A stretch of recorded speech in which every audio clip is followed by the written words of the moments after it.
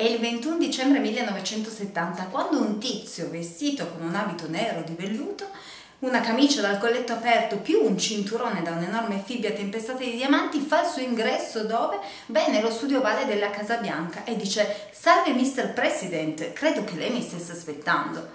Beh, dopo un po' di silenzio il presidente, eh, l'uomo più potente al mondo, dice ma che cosa avrò mai fatto? E allora risponde vesti un po' selvaggiamente figliolo di nuovo pausa. E il primo, ad un certo punto, dice, beh, Mr. President, lei deve portare avanti il suo show e io il mio.